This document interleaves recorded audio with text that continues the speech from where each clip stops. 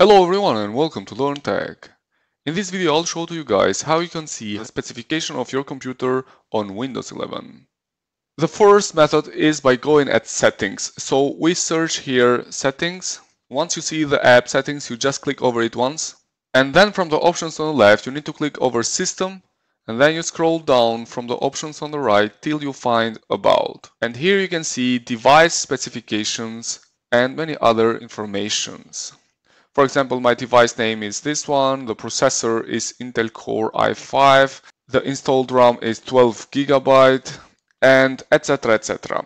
And here you can see also Windows specifications. For example, I have installed Windows 11 Pro and version 21H2 and the operating system build is .348.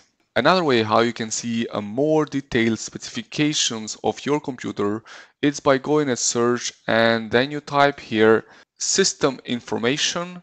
And once you see this app system information you click over it once and this app will open. And here you can see more detailed information about your computer. For example, here you can see the BIOS mode, which in my case is UEFI, and you can see if your computer is in secure boot state etc etc from the options on the left you can open this one here hardware resources and then you can see also here more information about hardware resources. Also if you go to components here then you can see for example your storage the drives that you have installed and one important information is that you can see, for example, which kind of graphic card is installed in your computer.